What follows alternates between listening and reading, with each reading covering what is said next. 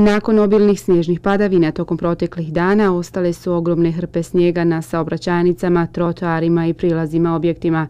Prateća nevolja je kiša koja se zbog niskih temperatura pretvorila u poledicu, površine učinila klizavim što ujedno otežava saobraćajnu situaciju, posebno kretanje pješaka u gradu.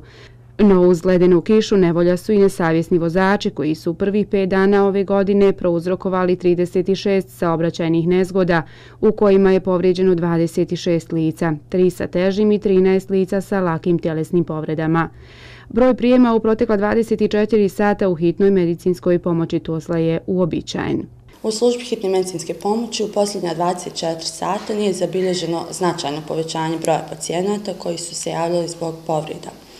S obzirom na vremenske uslove, savjetuje se oprez posebno e, starijim osobama zbog e, povećane opasnosti od padova i mogućih povreda ekstremiteta.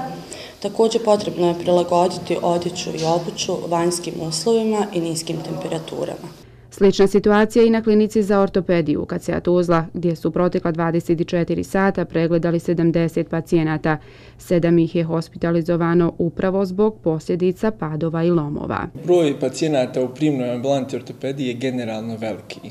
S tim što je u ovom periodu samo povećana patologija vezano za klizak terin, za padove, za saobraćajne udese, a broj pacijenata je manje više isti, kažem samo što je vrsta pacijenata, patologija vezana za ovo vrijeme povećana. Građani sami vide kakva je situacija, da je otežano kretanje, tako da dovoljno su svjesni situacije.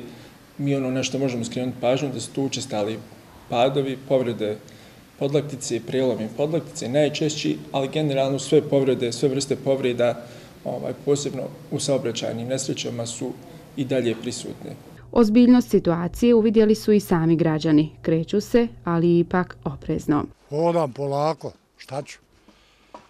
Ne mera drugačije. Pa strogo, stvarno strogo se pazim, vodim računa, pa nema mi druge, jedino je to ostalo da se vodi računa, nema druge. Nismo vrijedni, vjerujte, nemamo, nemamo tu obavezu, kulturu, e, osjećaj da ovo treba da se čisti, da svako treba ko je sposoban da to čisti. Ne može se sve prebaciti na, na, ne znam sad, na grad, na odgovornost već tog preduzeća komunalnog. Treba nešto da uradimo i sami. Samo na silu, samo ono što se mora. Dodatan oprez potreban je prilikom hodanja ispod nadstrešnica budući da ima veliki broj ledenica. Podsjećamo da je i to dužnost vlasnika objekata da ih očiste. U zimskom periodu uz fizičke povrede veoma su česte i prehlade kod djece koja uz želju za sankanjem igrom provode sve više vremena na otvorenom. S obzirom na povećanu fizičku aktivnost kod djece u ovom periodu potrebno je ograničiti boravak na otvorenom, prilagoditi odjeću, dakle svoje oblačenje i zabrati sigurno mjesto mjesto za sankanje, skijanje, e, zbog povećane pasnosti od povreda ekstremiteta, nadlaktica, e, podlaktica, podkoljenica i nadkoljenica, te povreda kičme, e, te posebno znači dovoljan unos tih toplih napitaka kod djece.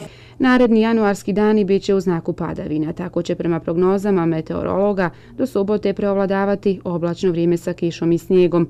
Jutarnje temperature kretaće se od minus 7 do 1, a dnevne do 4 na jugu zemlje do 8 stepeni Celzijusa.